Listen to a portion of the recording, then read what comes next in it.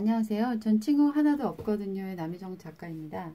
오늘 제가 들려드릴 이야기의 제목은 오랜만에 샤프를 샀다. 문방구에 가는 걸 좋아하는 우리 부부는 둘러보다가 샤프를 샀다. 나는 사실 초록색으로 사고 싶었는데 내 반쪽에 연보라색이 예쁘다고 해서 연보라색으로 사왔다. 별거 아닌데 마음이 참 안 좋았다. 내가 원한 색이 아니어서였다.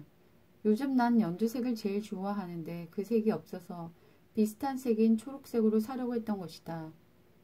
나 화가 나려고 해. 왜 그런지 얘기해 주겠어? 난 초록색 샤프를 사려고 했는데 강요당해서 연보라스로 사서 날 용서해 주겠소? 응.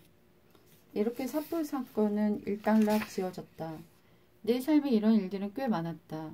심지어 검정 코트를 사러 갔다가 핫핑크를 사가지고 나온 적도 있다. 점원이 내 얼굴이 하얘서 핫핑크가 내 컬러라고 하도 강요해서 그걸 못 이긴 것이다.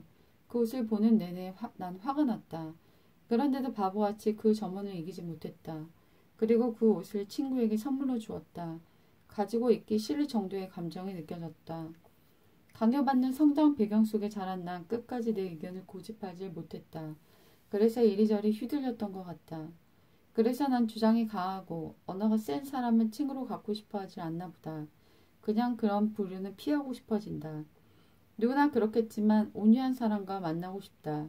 이제 물건을 보고 화난한 일이 없었으면 좋겠다.